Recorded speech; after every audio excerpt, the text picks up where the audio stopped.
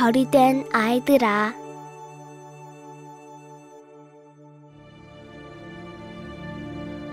오르말의 돌담길 따라 샛노란 유채꽃 살랑거리면 먼 하늘 총총 별빛 마을엔 복순이, 경자, 나무, 창민이 바다 건너 멋진 세상 꿈꾸던 아이들 있었습니다.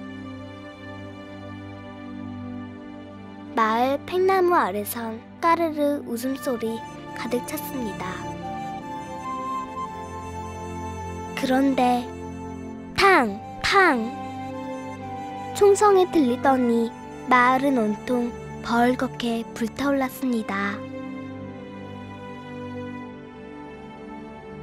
나는 친구들과 팽나무 아래 숨어서 눈만 동그랗게 뜨고 미처 나오지 못한 우리 집 누렁이와 옆집 복희 할머니 울음소리를 들었습니다.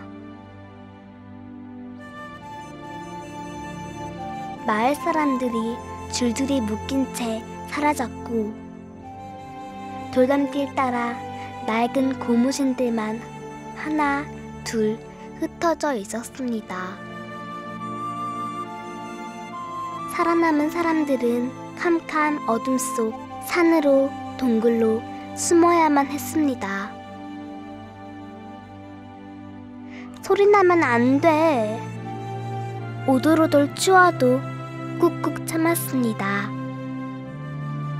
배고파도 울어선 안 되었습니다. 굶주림과 추위에 죽어간 아이들. 어디론가 잡혀가 돌아오지 않은 아이들.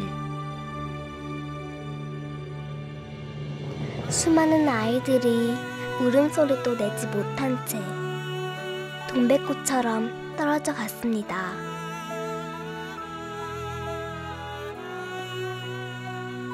이제 다시 연분홍 연노랑 별꽃이 피었습니다. 깨진 그릇 조각 흩어진 동굴가에도 꼬불꼬불 무너진 마을 돌담길에도 연두색 이파리 새록새록 피었습니다. 파랗게 출렁이는 제주바다 위로 또랑또랑 별꽃이 피었습니다. 별이 된 아이들아, 보고 싶은 친구들아, 내 가슴 속 너희들은 평화로운 별빛으로 그렇게 피어난단다. 매일매일 새롭게 피어난단다.